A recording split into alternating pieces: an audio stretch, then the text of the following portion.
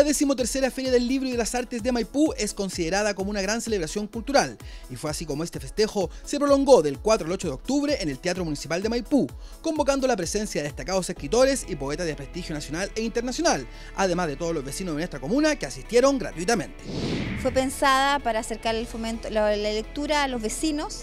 Hemos tenido ya tres días con mucho éxito, muchos escritores han pasado por aquí, muchas eh, obras de teatro, cantantes, expositores.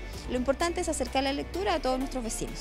La Feria del Libro puso su tilde en la vida y obra del poeta chileno y premio Nobel de Literatura Pablo Neruda, además de otras tendencias artísticas. Aquí ha pasado danza, hemos tenido jazz, hemos tenido exam, danza, entonces lo importante es que este sea un eje cultural donde no solo estén libros, sino también haya mucho arte eh, para toda la comunidad de Maipú.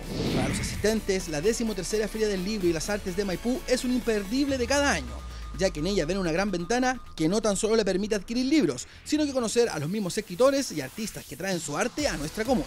Y esto es cultura, es cultura, conocimiento y siempre nos hace falta.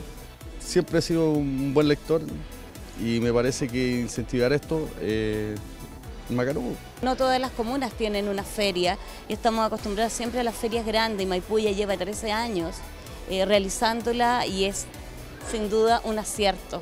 Así que feliz. Así como esta nueva edición de la Feria del Libro y las Artes de Maipú deja como cada año la vara mucho más alta, pero con la satisfacción de seguir aportando la cultura de la gran comuna de Maipú.